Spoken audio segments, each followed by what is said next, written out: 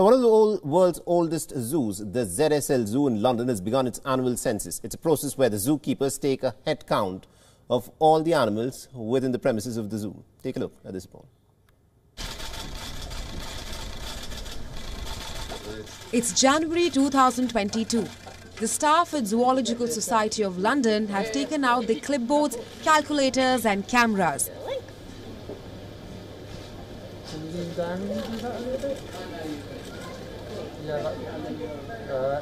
For the traditional annual head count at the world's oldest scientific zoo.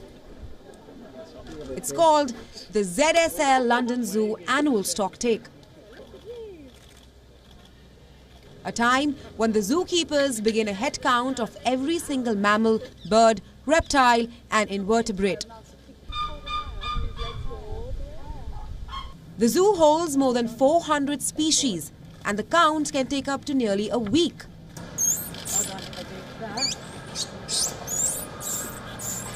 Apart from keeping a count, the annual stock taking is also a part of the zoo's license requirements. So today is the annual stock take at ZSL London Zoo. Um, the reality is we count the animals every single day, it's part of our job, but we also do a slightly more official one once per year, which is part of our zoo licensing.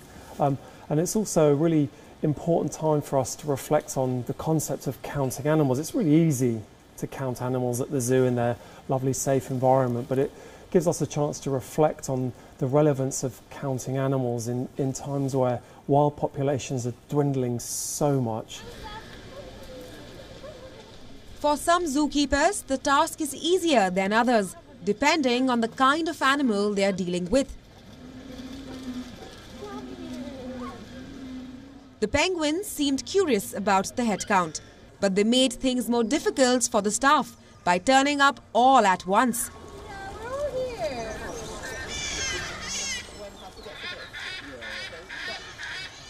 And the Asiatic lions turned into snuggly felines, making the zookeeper's task a playtime by rolling over for belly rubs.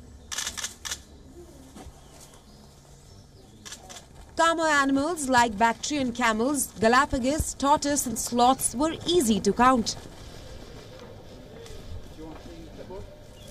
But animals like monkeys had to be busy with play tools.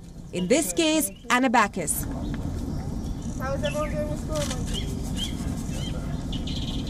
So the keepers could do their head count. While the squirrel and colobus monkeys showed their math skills. After the annual audit of more than 400 species, the data will be shared with other zoos around the world. The ZSL Zoo in London had lost over 20 million pounds during the lockdown last year. But it survived due to donations contributed by the people and a great number of visitors after reopening. COVID had a massive impact on, on London Zoo. A lot of people don't realise that we're a charity, we don't get government funding, so we lost well over 20 million pounds. Um, we were incredibly grateful because so many people contributed through donation and still are. It's still possible to donate to the zoo to, to get us out of that financial hole that we were in. Um, one thing though that we've noticed is that the, the, the visitor behaviour is changing. People want an outdoor experience and that's exactly what London Zoo is. So our visitor numbers have actually been quite healthy and we're expecting them to be relatively robust through this winter as we then move into what would normally be our peak season of spring and summer. The newcomers this year were a Sumatran tiger cub, an Asiatic lion, a young sloth, three snappy big head turtles and three baby eastern black and white colobus monkeys. Bureau Report, WION, World is One. WION is now available in your country. Download the app now and get all the news on the move.